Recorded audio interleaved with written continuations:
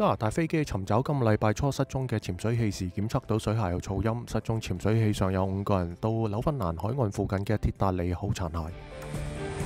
約旦河西岸以色列定居者晚上喺不同村莊放火焚燒汽車同農田，顯然係對星期二喺拉馬拉一個油站四名以色列人死亡嘅槍擊事件報復。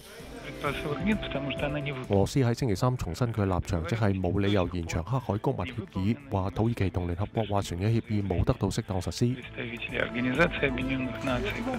羅馬尼亞自稱厭惡女性嘅網紅安德魯泰特星期三離開羅馬尼亞法庭，檢察官指控佢喺美國、英國同羅馬尼亞販賣人口。